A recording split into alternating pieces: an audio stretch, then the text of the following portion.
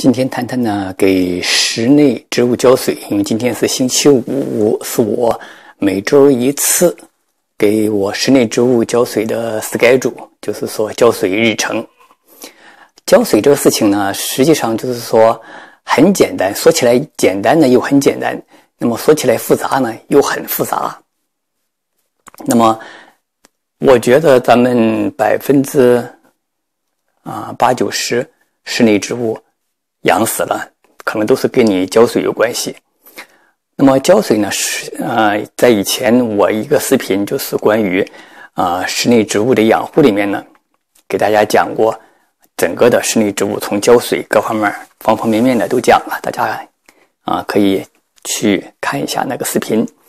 那么就说啊，室内植物呢啊，首先呢就是说呃，你呢就是说那个土呢。一定要透水透气性好，这是关键。第二呢，就是说啊，室内植物呢啊浇水呢分几种。那么一种呢，就是说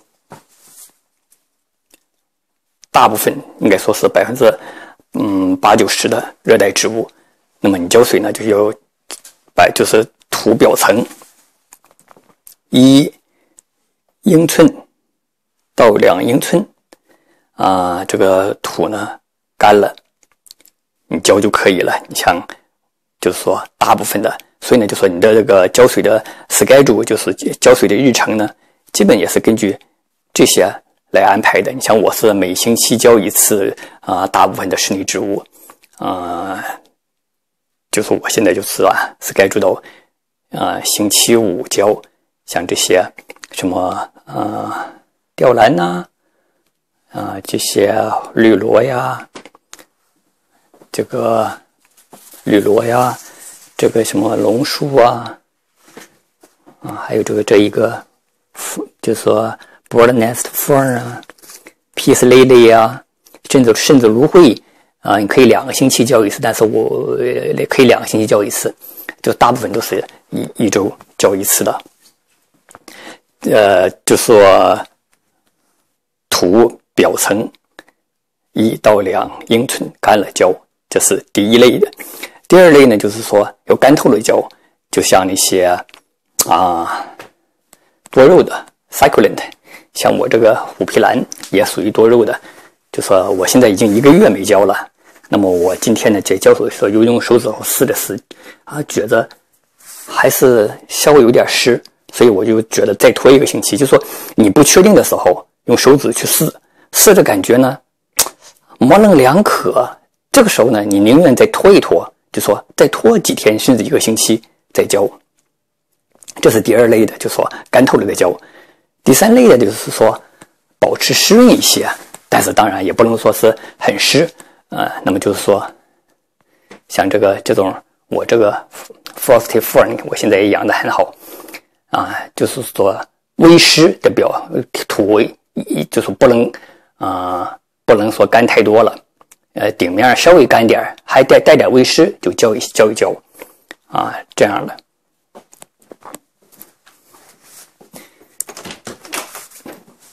这外面的也是这个绿萝也浇了，然后呢，这个柠檬的橘子，它也喜欢，就是说潮湿一点的，就说啊，基本也是一个星期浇一次。那么这个仙客来呢，啊，它呢就说。可以微湿、微湿、微湿，稍微干一点，就说啊就要浇。这是在生为仙客来是在开花期，如果是说休眠期，你就是要干了，就不用管它了。这样就说这种啊浇水一定要根据自己的情况，就说每个人这个每每个家里每个气候环境。你的浇水啊，就是就是不一样的。有的就是说室内温度比较高，湿度比较大，你可能浇水就少一些；有的呢就是说你可能就要多一些。一定要根据自己的情况，就说用手指去摸呀，去掂一掂呐。呃，另外呢就根根据你的植物的特性呢去浇。就是刚才说了，百分之啊八九十啊，那就是一周一次啊，表面土一英寸、两英寸干的浇。那么再是一个呢，就是说全干透的浇的多肉的，那就是可能两个星期、三个星期，那再一个喂食的，可能就是说三四天呢，就它要要求湿度比较大的，啊，你就三四天浇一下，就是一定要根据自己的啊实际情况啊，这样呢就说啊浇水既简单又复杂，并且你只要大部分的花的养死了，都是浇水的问题。好，今天正好是我施该主浇水，我刚浇过，那么给大家讲一下浇水的事情啊。我浇水呢，就说啊，就是用了用了我这个。配的，配的这个水什么水呢？这个海草海草海草水，那现在呢就说已经啊已经泡出，看都看不到，泡出泡出颜色了，啊，然后呢就说水水果皮水，那我就要有橘子。橘子呢，就说皮也留着，你看都是泡的，泡的放在这个地方，就说，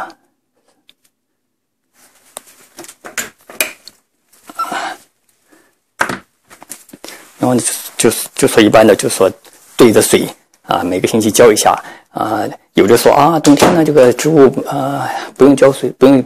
呃，施肥呀什么的，就说对于这个化肥，你不要不用，就说可以就说一个月。但我这因为就是呃全是有机的，所以呢就是浓度比较稀的。我浇水的时候就给它浇一浇，你看这各方面长得也都是很好的、很旺的。